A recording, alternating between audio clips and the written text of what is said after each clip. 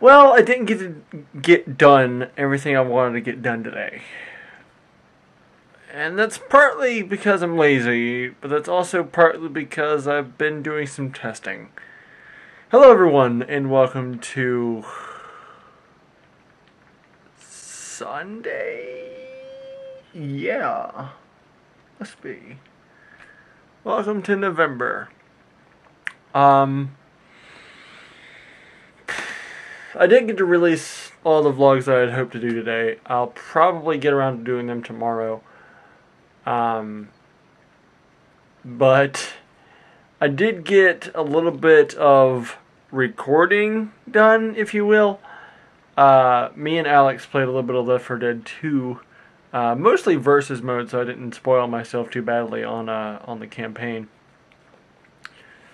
But um, I've been doing a lot of testing by testing um, recording software. I know, I'm not going to say I know, but I figure pretty much by this point that NVIDIA's Shadow Play is going to work when I need it to. However, it doesn't work 100% the way I need it to, if you know what I mean. It doesn't have all the options that I need to I need to be able to work with.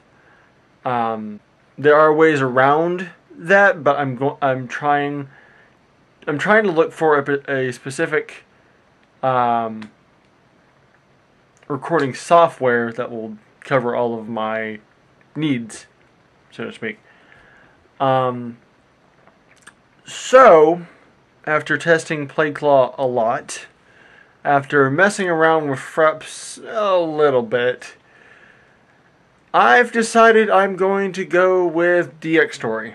Mostly because while Fraps does does it, it doesn't have the same problem that PlayClaw does in that it tries to it I think it I think the problem with the the frame skipping that I've been having with PlayClaw is mostly because I'm trying to do um, videos at too high of a frame, uh, not a frame rate, a uh, a data rate. I'm trying to encode. I'm trying to record, encode, and compress at a really high um, data rate. Which this is probably flying over a bunch of you guys' heads, but essentially I'm pushing my hard drive too hard it I'm trying to push too much information onto it and it's just skipping. Uh, or at least the recording is. So, but while but while Fraps doesn't have that problem, it also doesn't have a lot of the customization that PlayClaw and Dxtory have. Uh, Dxtory has a lot more customization than PlayClaw has, and PlayClaw has a lot more than Fraps does. Um, and I think all three of them have more customization than uh,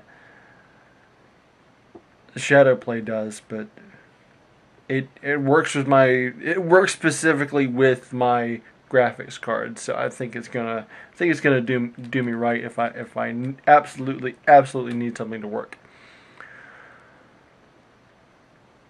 So, in the next few days, I may very well buy um, Dxtory. And hopefully by Thursday, I'll be able to get around to actually recording something. hopefully. I can't believe it's taken me this long. But oh well. Tomorrow's another day, I suppose. And no, that's not. That, that is technically a reference to Five Nights at Freddy's 4 but um, that's not like saying I'm I'm about to do Five Nights at Freddy's four for no reason in particular. No, um, though I w- I wouldn't mind. I wouldn't mind playing through the entire Five Nights at Freddy's series, just because I, I love the story behind it. It's incredibly engrossing, incredibly mysterious. Anyway, um, I'm gonna go to bed because it's 5.15 in the morning. But, you know what? I need to get back in the back in the habit of staying up pretty late. Um, simply because I stay up to like eight o'clock in the morning uh, when I work. So yeah, I'm slowly, day by day, weeding myself back to staying awake pretty late. That's fun. Anyway, that's it. Thank you all so much for watching. Until tomorrow, I'll see you all later.